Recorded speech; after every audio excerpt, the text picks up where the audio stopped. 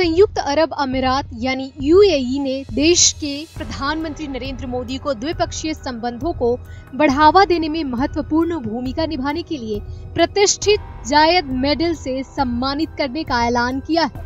UAE के राष्ट्रपति शेख खलीफा बिन जायद अल नाहयान ने खुद राजाओं, राष्ट्रपतियों और राष्ट्राध्यक्षों को दिए जाने वाले सर्वोच्च सम्मान से प्रधानमंत्री मोदी को सम्मानित किए जाने की घोषणा की।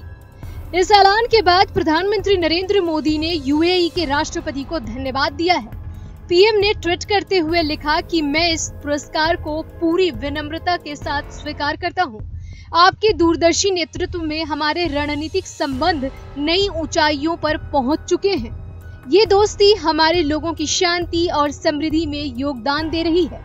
इधर विदेश मंत्री सुषमा स्वराज ने भी पीएम को मिले इस पुरस्कार पर अपनी प्रतिक्रिया ज़ाहिर की है।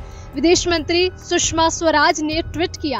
मोहम्मद बिन जायद द्वारा भारत के महान सपूत प्रधानमंत्री नरेंद्र मोदी को जायद मेडल दिए जाने की घोषणा का स्वागत करते हुए मैं बेहद खुश हूँ।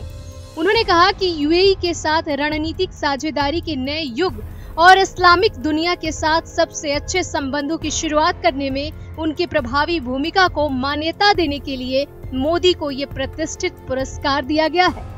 एस पी न्यूज़ के लिए शशि प्रयास सिंह की रिपोर्ट।